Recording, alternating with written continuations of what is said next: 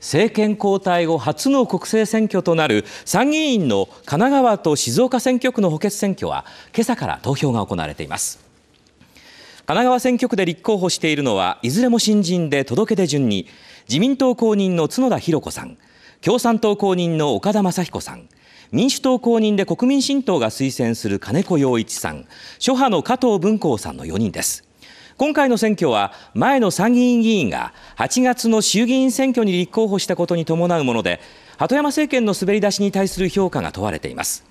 このため鳩山総理や谷垣自民党総裁らが相次いで応援に入りました。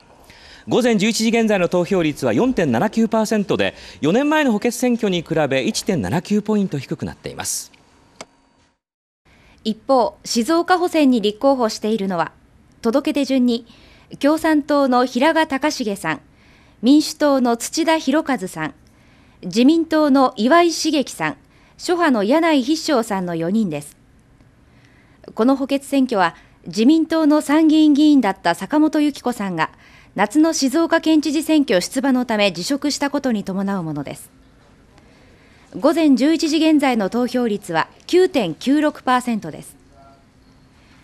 神奈川、静岡とも午後8時の投票締め切りの後すぐに開票作業が行われ